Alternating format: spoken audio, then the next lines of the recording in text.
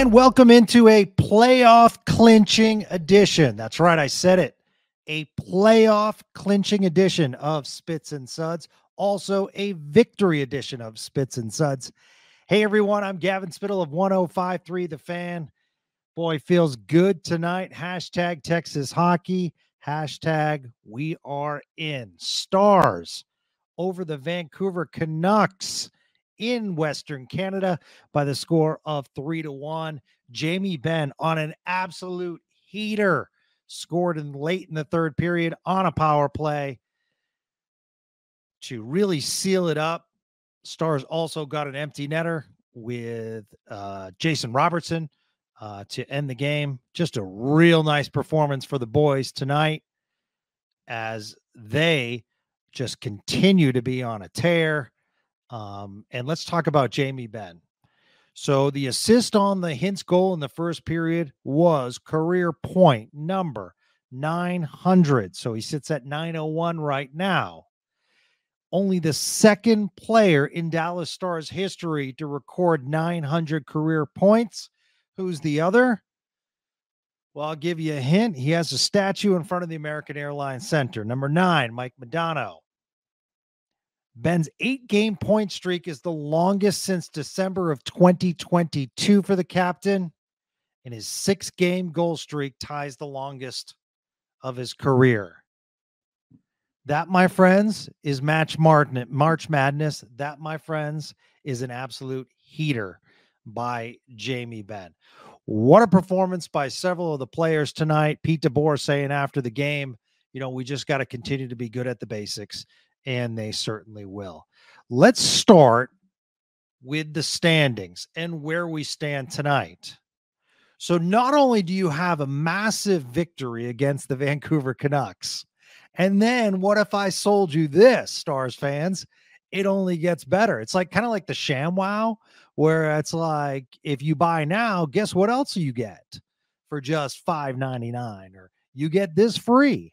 Well, the Dallas Stars beat the Vancouver Canucks to stay on top of the West. Oh, but it gets better. The New York Rangers go to Denver and beat Colorado in overtime. Granted, Colorado does get a point, but nonetheless, a loss. Let's shift to Winnipeg, where the Vegas Knights take down the Winnipeg Jets. So there's two. Oh, and a streak was stopped the Arizona Coyotes, who the Stars just beat, put a whooping on the Nashville Predators tonight by the score of eight to four. I mean, if you're Nashville, you are kicking yourself right now. You're like, we come this close and then we lose to Arizona when we're only four points back of Winnipeg for the third position.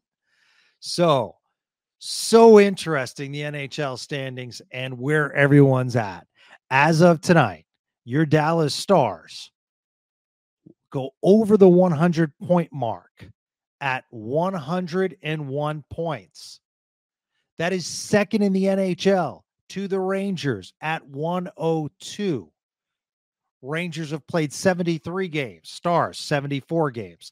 Stars have played one more game than the Avalanche and the Winnipeg Jets. Both have a game in hand on the Stars. But the lead is now three over Colorado and the lead is an impressive seven now over the Winnipeg Jets.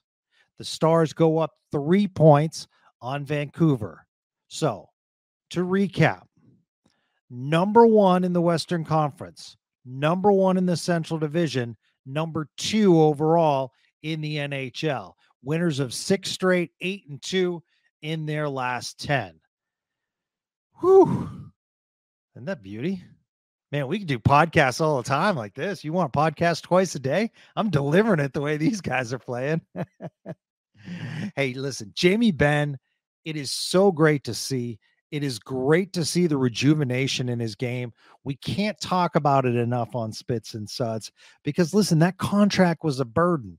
And all of us were saying, um, it's not that we don't like Jamie Benn. It's just that, you know, the career is kind of sliding you know, on the wrong side, and that's okay because he's get getting older. Well, then all of a sudden in the last two years, here comes Wyatt Johnston. And in the last few months, here comes Logan Stankoven. And it really makes you think with Seguin and Benn, was it the players around them? Because Seguin's having a good year because of Duchene and Marchment.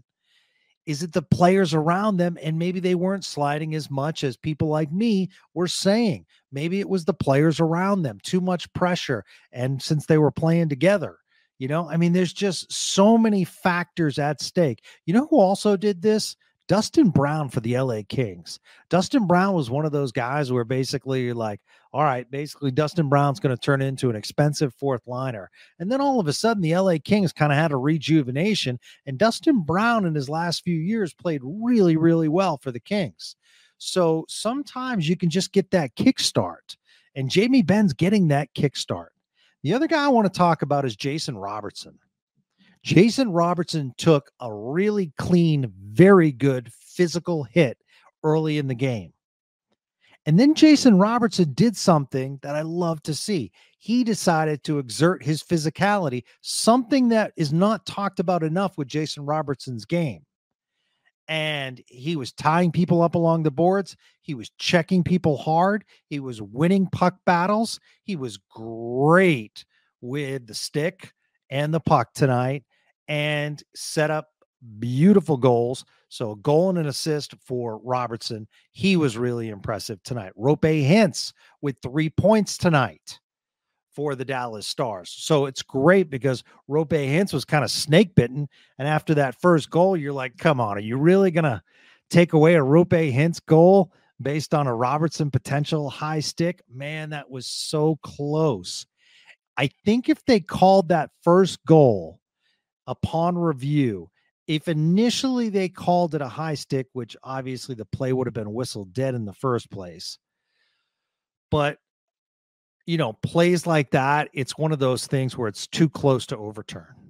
And like I said, if it was a high stick from the beginning, it would have been called from the beginning. This was a continuation, and because of the goal, uh, the team, the Vancouver Canucks, certainly have the right to challenge it. They were assessed a penalty. So the Stars got two consecutive power plays, didn't score on the uh, on the second one, but going on the kill constantly like that really kills the momentum. And I thought the Stars did a really nice job defensively. And that's one of the highlights tonight. You know what we're not talking about anymore? We're not talking about, and there's no coincidence that the Chris Tanev arrival coincides with what I'm about to say. The calmness and the relaxation, the ability to get it out of the zone, and the ability to play good defense. We were heading into this trade deadline saying they need at least two defensemen. Tanev, and maybe if they could get Sean Walker, if they could fit or pull a three team trade so someone else could pick up salary. But they got Tanev. That bumped Ryan Suter down to the third line pairing. Hakanpää goes out with an injury. Nils Lundkvist playing real well, played a good game tonight. I thought Ryan Suter was excellent tonight. Ryan Suter was very physical, Ryan Suter's not making mistakes. And we can't harp on this enough, folks. Ryan Suter as a third pairing at defense is a good thing for the Dallas Stars. Sure, he might make a few mistakes here and there, but what defenseman doesn't? They're like cornerbacks in football. They have to forget about it real quick. Heck, our best defenseman uh, had a turnover the other night that led to a goal in Miro Heiskanen on a rough pass but we can't dwell on that. What we can say is that Ryan Suter is playing a very solid third pairing. And just like we say that Jamie Benn all of a sudden has a rejuvenation with the likes of Wyatt Lang Wyatt, Wyatt Langford plays for the Texas Rangers. Had a good game, by the way. Wyatt Johnston, too many Wyatts here in DFW, and Logan Stankoven can we now say that with Esa Lindell paired with Chris Tanev? Because we're not talking about the sliding scale with both Esa Lindell and Ryan Suter. So sometimes chips have to fall as far as chemistry, as far as line mates, as far as chemistry with defensive pairings. With better defense look at Jake Oettinger. Jake Oettinger played really well tonight. Jake Oettinger made an amazing save. You know, you have those flashy saves where it's like a glove and the glove whips, and that's awesome. But only Jake Oettinger with the six foot six frame can do that back toe save that he made on a wraparound that clearly was going to go in front of the net and most likely could have ended up in a goal for the Canucks. But Jake Oettinger prevented that with a really good look back toe save. I thought that was one of the saves of the game. Jake Oettinger is looking really sharp lately. In fact, if you break it down, his last four games, two goals allowed, two goals allowed, two goals allowed, one goal allowed tonight. That is vintage Jake Oettinger. And we need to talk about that more. So that save percentage is now going to go up over 900 and the goals against average is certainly going to go down. So, really, really good night for the Stars. Also, want to mention Nashville, Colorado clash tomorrow. That's something we need to look at as Stars fans. Go Preds. As much as I love to see Nashville in their heater right now, I am super stoked if Nashville can go and beat up on Colorado.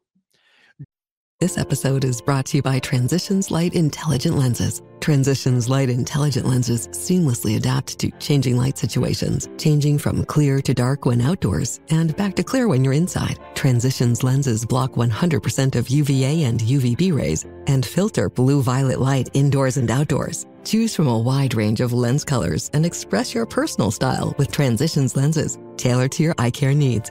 Visit transitions.com to learn more. This episode is brought to you by Allstate. Allstate wants to remind fans that mayhem is everywhere, like at your pregame barbecue. While you prep your meats, that grease trap you forgot to empty is prepping to smoke your porch, garage, and the car inside. And without the right home and auto insurance coverage, the cost to repair this could eat up your savings. So bundle home and auto with Allstate to save and get protected from mayhem like this. Bundled savings vary and are not available in every state. Coverage is subject to policy terms and conditions. Walmart Plus members save on meeting up with friends. Save on having them over for dinner with free delivery with no hidden fees or markups. That's groceries plus napkins plus that vegetable chopper to make things a bit easier. Plus, members save on gas to go meet them in their neck of the woods. Plus, when you're ready for the ultimate sign of friendship, start a show together with your included Paramount Plus subscription. Walmart Plus members save on this plus so much more. Start a 30-day free trial at walmartplus.com. Paramount Plus a central plan only. Separate registration required. See Walmart Plus terms and conditions. Jordan H at Harper Hockey Fan. Hey, Jordan. I thought Wyatt and Otter were the Stars' best players tonight. Great to see Otter have a get right game against a good team. Um, I actually think that Oettinger's been really good in the last four games.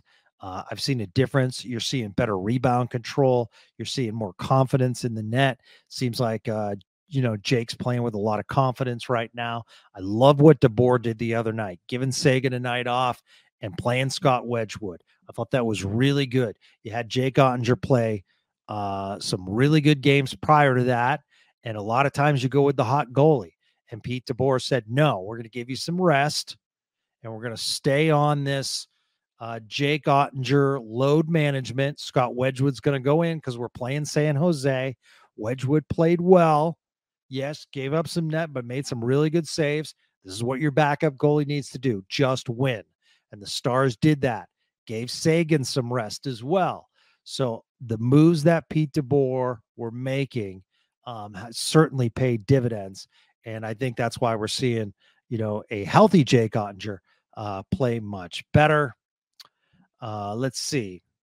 Uh, Christopher DeHardy at C DeHardy Benn's been so good lately. Not only that, the fact that the Stars kept the Canucks out of the net on the power play was mega. Special teams won this game with the two power play goals. You have to get the little things right for a playoff run, and the Stars look really good right now.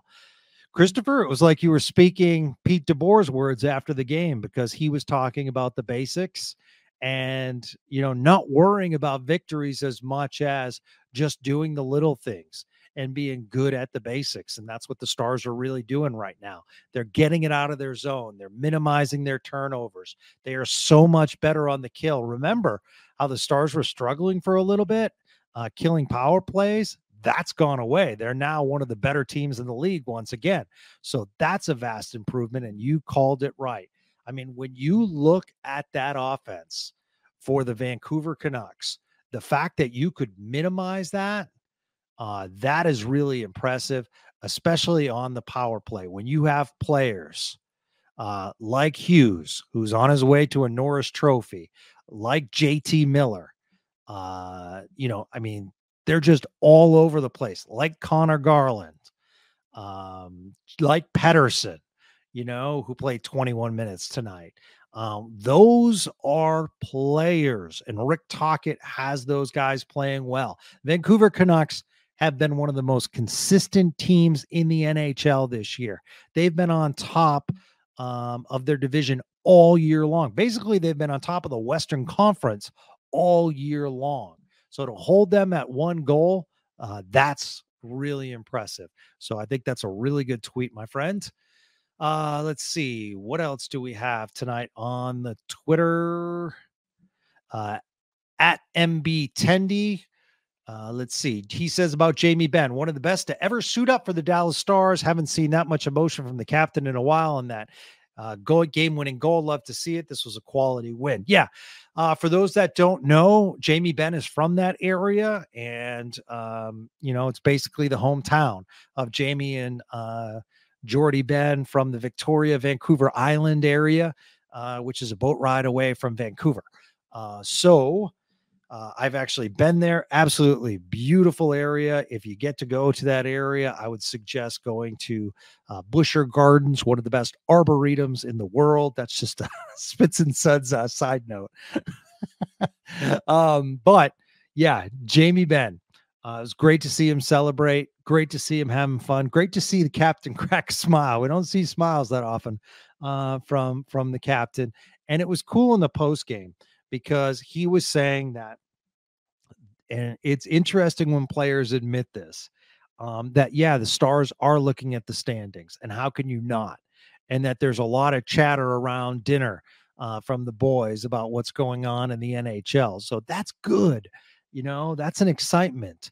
I feel like the team really feels as though they're in just one of the better races in hockey right now and you'd love to see the boys get into that so uh, that's really good. So, as far as one of the best ever to suit up for the Dallas Stars, yeah, you have to say that certainly because, you know, to be among that elite company with 900 points, with Mike Modano being the other, uh, that's quite impressive.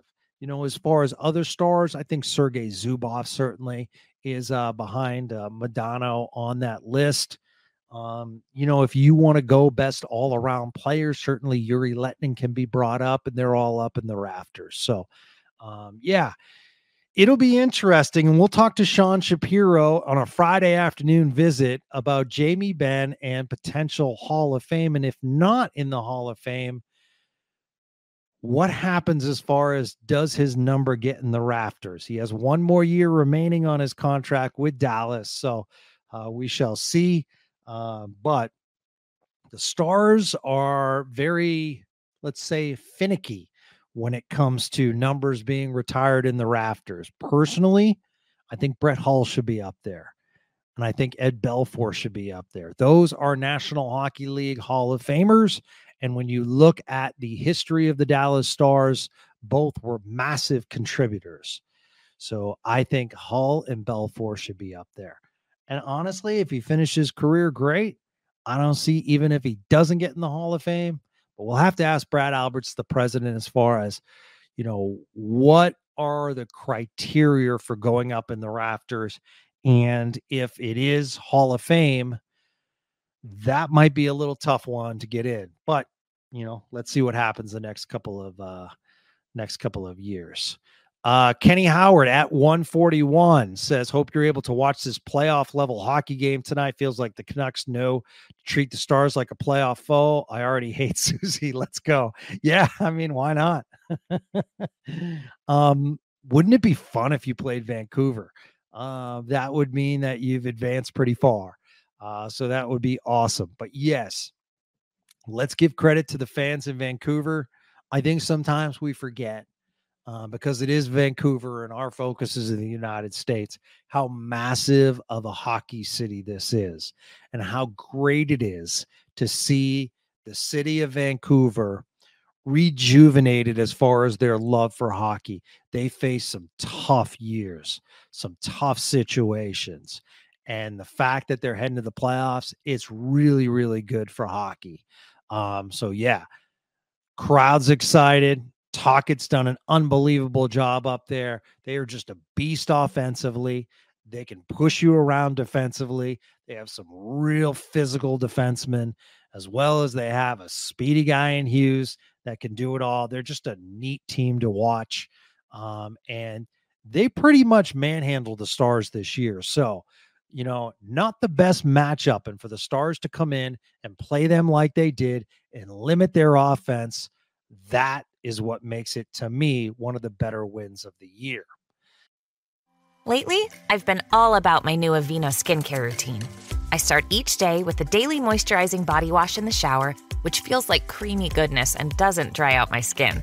After, I slather on the daily moisturizing body lotion for 24 hours of clinically proven hydration. This powerful combo gives me two times the moisture in two easy steps, thanks to both nourishing oat formulas, leaving my skin feeling soft and smooth. Shop Aveeno now at Target. One in eight. That's how many people have worked at a McDonald's who serve millions the best Big Mac and best birthday party they've ever had. Who haven't just seen kids graduate from a Happy Meal, but have gotten help graduating themselves. Because they know the skills learned here. Bienvenidos. Welcome to English Under the Arches. Can help you grow from here or keep growing here. One in eight start at McDonald's. And where you start stays with you. Uh, let's see. Crow Wi Fi says that Conor Garland can skate. Yeah, Conor Garland's an amazing story for the Vancouver Canucks. Uh, has always been a fighter, uh, just a small guy, uh, about five foot eight, five foot nine. Uh, very famous uh, hockey school. Shattuck actually cut him um, up north. And so he had to go play for the Boston Bruins Junior, which is a kind of a junior hockey team. And um, he he joined teammates Ryan Donato and uh, Jack Eichel on that team. Not bad for a teenage team. Um, and then he went to the Quebec Major Junior Hockey League team. He actually had a skating coach um, that you know he got with when he was younger, and that helped with his speed even more. Uh, had a massive year uh, in the Quebec League and was drafted by the Arizona Coyotes uh, mid round and uh, you know has uh, been really solid ever since and has just turned into a terrific player. Real gritty for his size, not afraid to rough it up. Just a real solid player. So that's a that's a, a great scouting perspective for you because yeah, Conor Garland is really fast on uh, skates. At Matt Gwynn 34 says, I love Stankoven's ability to agitate defenses by being in the right place and drawing penalties. Also, Joe gets the worst of it sometimes. Loves that guy. Yeah, I mean, the fact that Joe Pavelski can stand in there game in and game out is just so impressive. Sean and I are going to get into it tomorrow, but we're going to talk because of a controversy of a local I shouldn't say local, of a uh, reporter slash blogger, um, podcaster that basically was critical of Travis Hyman after he scored his 50th goal with Edmonton Oilers. And one of the things that I'll point out now that I will extend my thoughts tomorrow was he said, and by the way, most of his goals anyway were like cleanup for McDavid. How hard is that? How hard is it to play next to Auston Matthews in Toronto and just clean up and be in front of the net? Well, I would say Matt brings up a great point on Twitter. It is hard and it is a skill. And you know who else was really good at cleaning things up? Hall of Famer Brett Hull. You know who's really good at cleaning things up when he gets in the dirty area? Tyler Seguin. How about Jason Robertson? He's really good there too. And Joe Pavelski. So are those players bad? Are those players privileged? And like I said, we'll go into it tomorrow. But just as much as it's wrong to to criticize an NHLer who has fought so hard in this league and finally gets 50 goals, yeah, it's nice to have a McDavid. It's nice to have an Auston Matthews. But as we pointed out earlier in this podcast, it's nice to have a Wyatt Johnston if you're Jamie Benn. It's nice to have a Matt Duchene if you're Tyler Seguin. And you know what? They feel likewise. Wyatt Johnston has learned so much because of a player. And what we don't give enough credit to is spacing and the art of moving. It's not like the old days where you just stay in front of the net, park, and just wait as you get slashed. These times have changed. Joe Pavelski does the most subtle movements as far as releasing from the defender's stick, releasing from the defender's hips, and freeing himself up to make those tips, to collect rebounds. That's an art. That's not just simply cleanup duty. That is an art. And it's called the dirty area for a reason. So, yes, I absolutely love Stankoven on that line and his ability to agitate. I think they get just as mad with Wyatt Johnston because these two kids are relentless. These two kids, if you steal the puck and you're going out of your zone, it's almost like you need a rear view mirror and you need to look at it because they're coming and they're coming on the back check and they have deceptive speed. And how many times have we seen either Johnston or Stankoven catch up to the play and causing a turnover? These guys are gritty, they're tough. Ludwig and I, uh, great comparison to us for Stankoven, a terrific player is Brandon Gallagher up in Montreal. Gallagher hasn't been able to remain healthy through his career, but when he is, man, is he a water bug out there.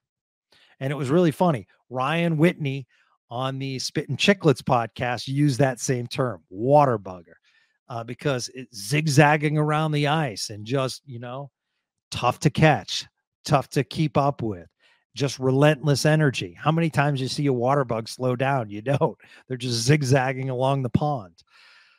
And that's what Wyatt Johnston and and and Logan Stankoven do. They zigzag along the pond. So uh, to recap, stars, absolute beast tonight in Vancouver. Now, cannot overlook the Seattle Kraken. That's a game as far as a trap game that's coming up. But San Jose and Arizona could have been trap games as well. But Seattle is not going to make the playoffs this year. They are a minus 15 goal differential, but they've won two in a row. So let's finish off this road trip with a solid two points. So the Stars, as we end this podcast, are first in the Western Conference, go over 100 points, clinch a playoff berth, are first in the Central Division. It's a great night to be a Stars fan. We'll talk to NHL insider Sean Shapiro in just a few hours, but also want to thank you once again. We've had a record March here on Spits and Suds. So spread the word. The playoffs are coming. And after every single playoff game, we will be here with you, just like we've been here for every single game post game edition of Spits and Suds. So look forward to having Sean on in just a few hours. I'm Gavin Spittle of 1053 The Fan. Thanks for listening and supporting Spits and Suds.